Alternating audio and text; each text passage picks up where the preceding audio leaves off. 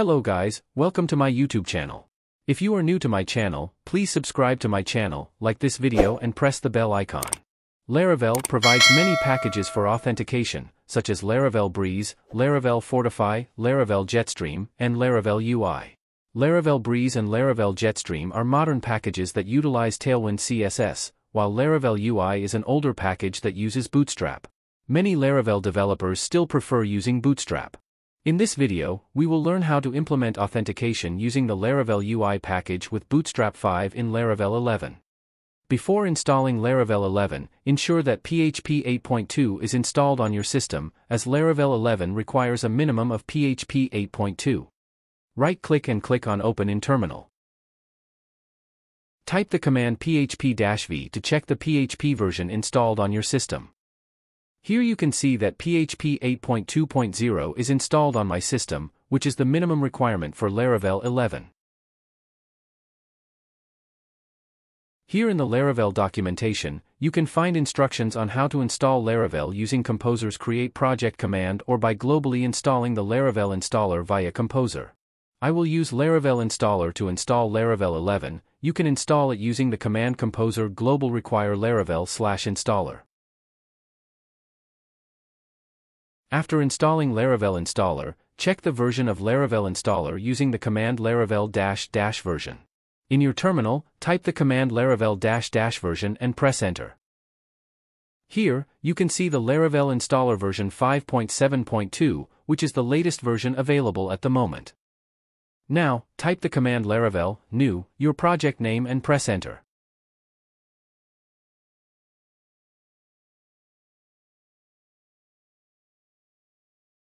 You will see a prompt to install a starter kit.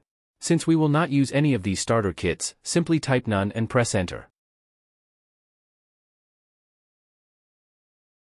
Now you will be asked for testing frameworks, type 0 for PEST or type 1 for PHPUnit.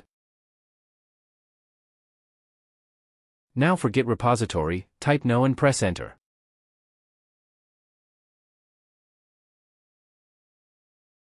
It will take some time to download, depending on your internet connection, so please wait for the download to complete.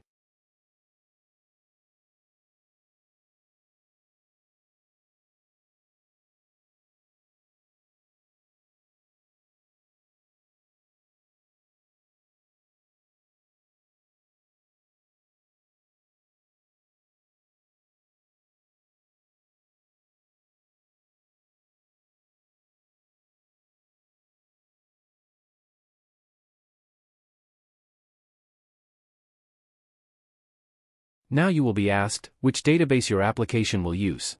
Type MySQL and press enter.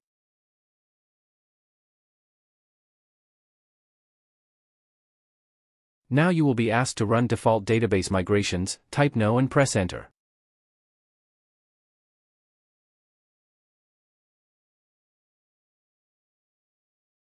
It will take some time to install the dependencies, depending on your internet connection.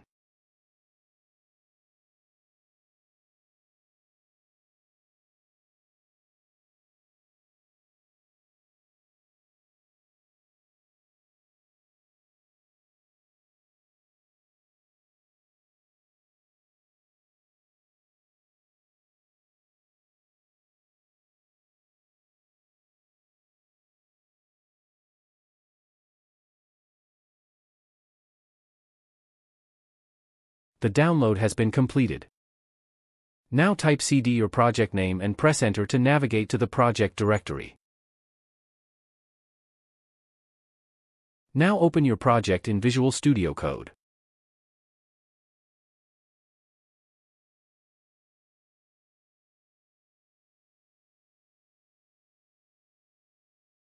We need to create a database for our application.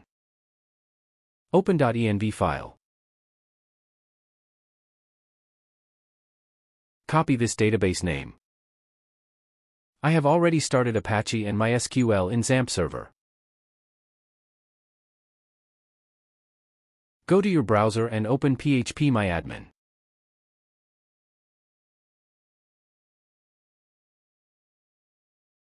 Click on Databases.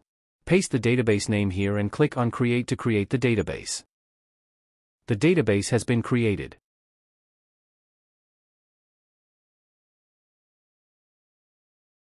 Click here and open a new terminal.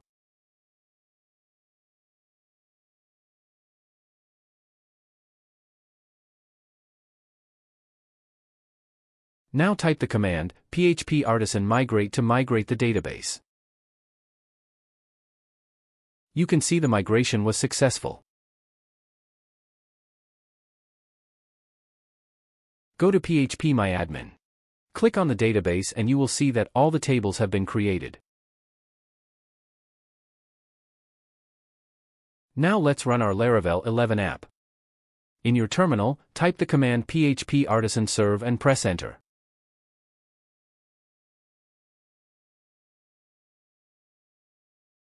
Go to your browser and type localhost colon 8000 and press enter.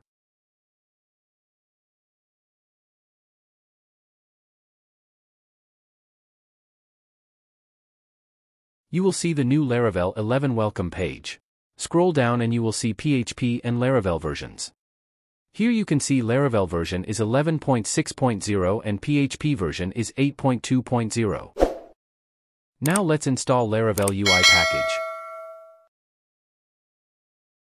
In Google type Laravel UI and press enter. Click on this link.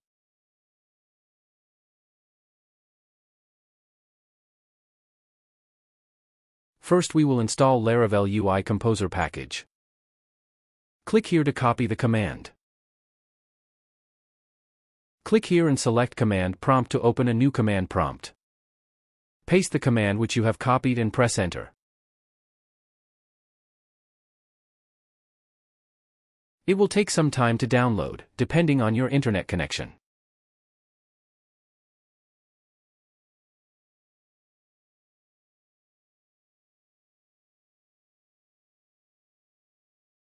Laravel UI package has been installed successfully. Now we will install the front-end scaffolding. For basic scaffolding, you can use this command. For authentication scaffolding we will use UI artisan command with dash dash auth flag. Copy this first command. Paste the command which you have copied and press enter. It will ask, the controller file already exists. Do you want to replace it? Type yes and press enter. Now we need to run npm install and npm run dev commands to compile the scaffolding. Type the command npm install and press enter.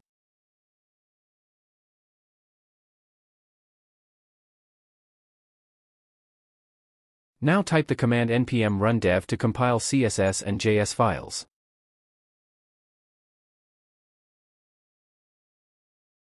Go to app slash http slash controllers folder and you will see auth folder where all the controllers for authentication are generated, like confirm password controller, forgot password controller, login controller, register controller, reset password controller and verification controller.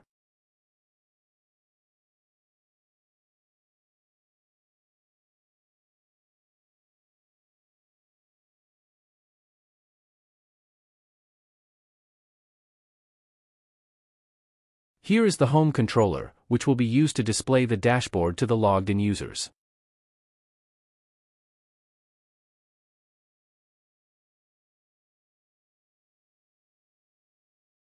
Open Resources folder. You can see Sass folder with underscore variables.scss and app.scss files. Open Views folder and you will see auth folder. Here is home.blade.php file. In auth folder, you will see passwords folder, login, register and verify blade view files. In the passwords folder, you will find confirm, email and reset blade view files. Open layouts folder and you will see app.blade.php file.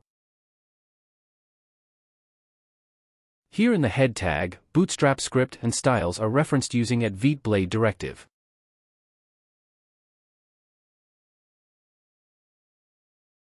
In routes folder open web.php file. Here you can see auth routes, which is a convenient method provided by Laravel to quickly generate all the routes needed for user authentication, such as login, registration, and password reset. The second route is the home route, which will redirect the user to the dashboard after they log in. Open composer.json file and you will see Laravel UI version, which is 4.5. Open package.json file and you will see Popper.js, Bootstrap and Sass in the dev dependencies.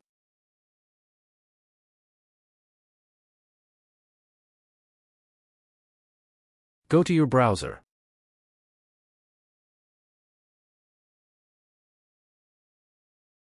Reload the page and you will see login and register links on the welcome page.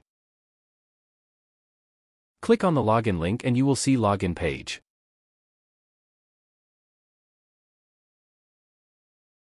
Click on Forgot Your Password link and you will see Forgot Password page. Click on Register link and you will see Register page.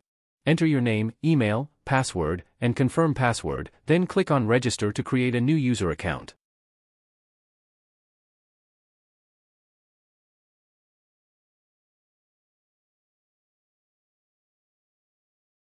You can see that you are now redirected to the dashboard page. Click here to go to the welcome page. Here you will see dashboard link to go to the dashboard page. But there is a small bug. If you click on the dashboard link, instead of the dashboard page, it will display a 404 page not found error. Click on the dashboard link and you will see a 404 page not found error. Let's fix this.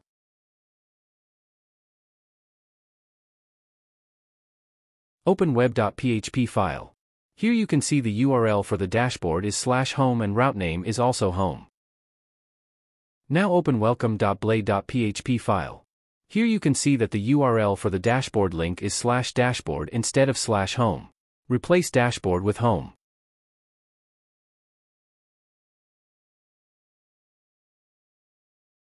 Go to your browser. Click here to go back. Reload the page. Now click on the dashboard link and you will go to the dashboard page.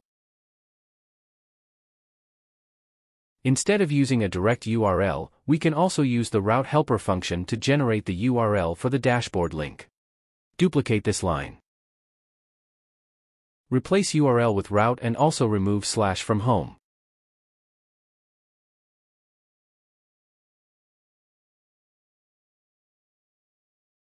Comment out first line.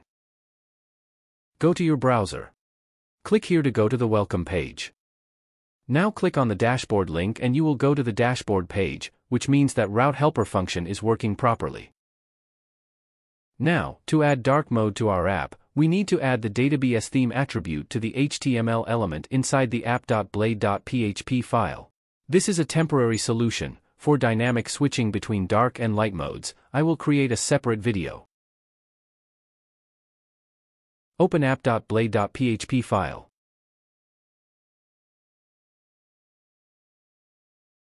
In the HTML element, add data-bs-theme equals dark.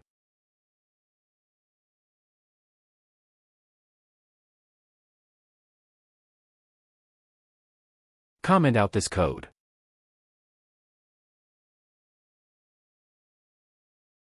Here I have added BG body tertiary, border bottom, border info subtle classes to the nav class.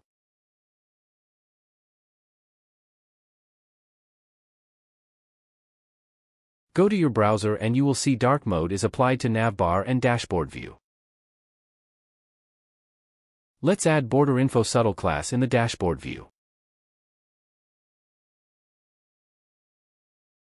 Copy this class. Open home.blade.php file. Paste the class which you have copied.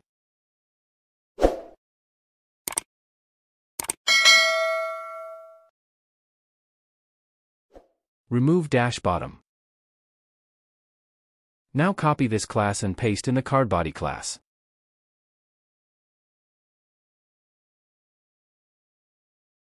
Open login.blade.php file and add the border class in the card and card body class. Open register.blade.php file and add the border class in the card and card body class. Finally, open email.blade.php file and add the border class in the card and card body class. Now go to your browser and you will see that border class has been applied to the dashboard view. Click on Logout. Click on the login link and you will see that the border class has been applied to the login view. Click on the Forgot Password link and you will see that the border class has been applied to the Reset Password view. Finally, click on the Register link and you will see that the border class has been applied to the Register view also. In this video, we learned how to implement authentication in Laravel using the Laravel UI package, which comes with Bootstrap. Thanks for watching. Please like and share this video and subscribe to my channel. I will see you in next tutorial, till then stay safe.